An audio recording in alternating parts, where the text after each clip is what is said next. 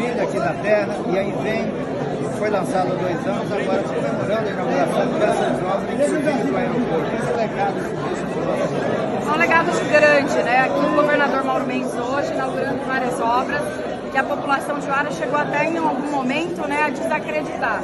E hoje nós vimos lá a inauguração do aeroporto, que nós já estávamos utilizando, nós vamos passamos ali pela escola técnica e o governador já cobrou ali empreiteiro para entregar esse ano, quer dizer, ano letivo, teremos aula na escola técnica, uma luta, e esse empreiteiro que está fazendo aqui é o mesmo que fez Campo Verde, Primavera do Leste, por isso que a gente acredita que vai finalizar dessa vez, porque a gente já tinha tanta insegurança que a terceira empreiteira que assume essa obra.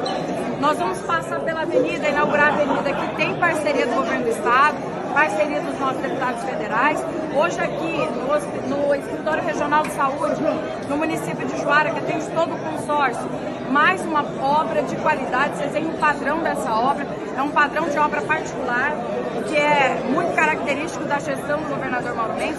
Então receber o governador para a gente falar de inauguração do Jaú, para discutir Águas Claras, os 30 km de Águas Claras e tantas outras parcerias, enche o coração do Juarense de esperança de que nós estamos aqui no caminho certo, queremos continuar a crescer e o município ainda tem muito a ofertar e a produzir. Que nós precisamos é de condição para isso.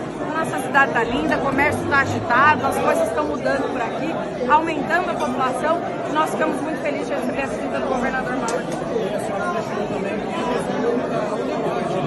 Inauguramos o estacionamento da Unemate, que eu indiquei 500 mil reais para lá. Ficou lindo o estacionamento para os alunos da Unemate, para os docentes, é mais dignidade e a iluminação também foi feita. Então, assim, nós estamos aos poucos avançando. Só no passado nós mandamos 3 milhões de reais para a saúde.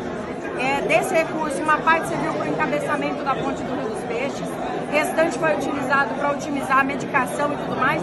É uma das regiões com melhor desempenho na saúde do estado de Mato Grosso.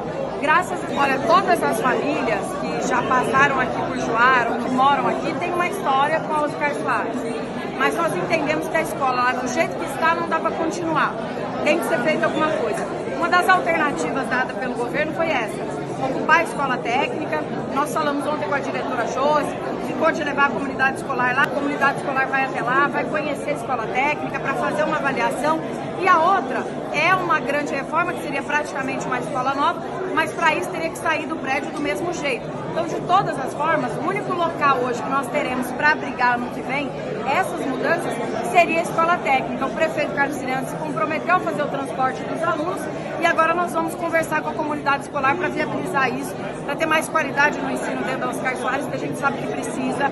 É, eu estudei lá, meu irmão estudou lá, mas a gente já sabe que a escola está muito aquém do necessário para que o aluno seja estimulado. Não temos refeitório, não tem mais para onde crescer sala, então alguma coisa precisa ser feita e nós vamos agir em benefício da população juarense.